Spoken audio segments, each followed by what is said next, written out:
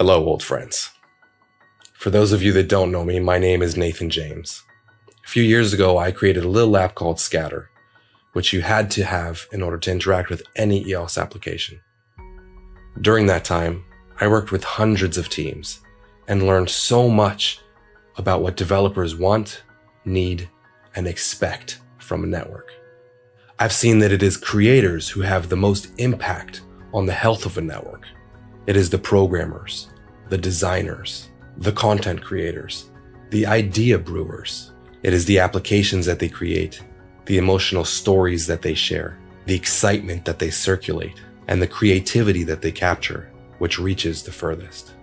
Anyone can be a creator, but it takes incentives to not only fuel the passion to start the journey, but more importantly, to keep it going. I had the pleasure of watching so many passionate creators building on EOS, and then the incredible pain of watching them struggle because the support network was a lie.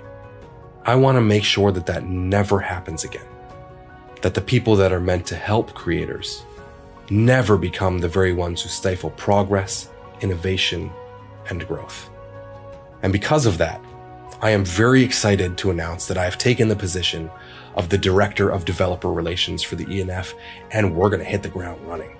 The Developer Relations team, along with your incentivized help, is going to build tools, create and enable education and events, guides, documentation, frameworks, and for once, behind the hand that is extended towards you offering help will be people who truly mean it. But talk is cheap. So let's get started.